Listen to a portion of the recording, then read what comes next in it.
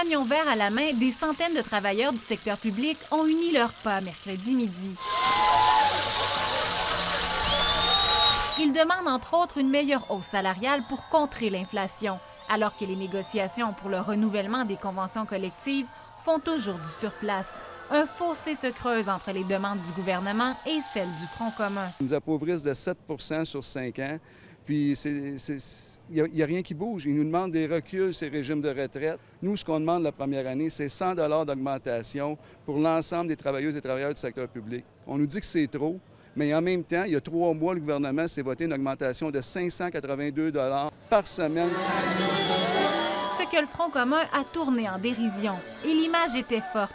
La caricature du premier ministre François Legault et de la présidente du Conseil du Trésor Sonia Lebel à bord d'une Mustang croulant sous les 100 dollars et il distribuait des cacahuètes aux manifestants. Des autocollants ont aussi été apposés sur la porte menant au bureau du ministre Jean Boulet. On représente euh, le personnel infirmier cardio-respiratoire euh, de l'hôpital Sainte-Justine, en fait.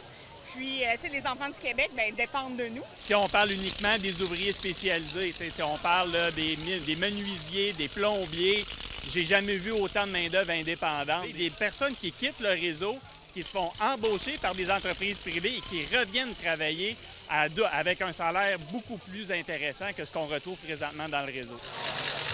C'est la deuxième fois en une semaine que le Front commun se mobilise à Trois-Rivières.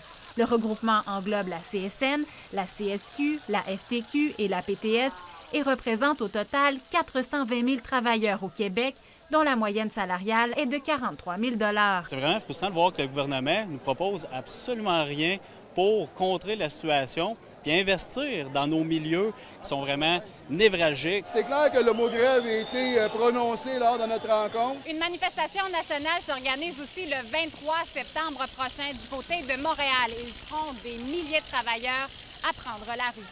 Charelle Traversy, TVA Nouvelle, Trois-Rivières.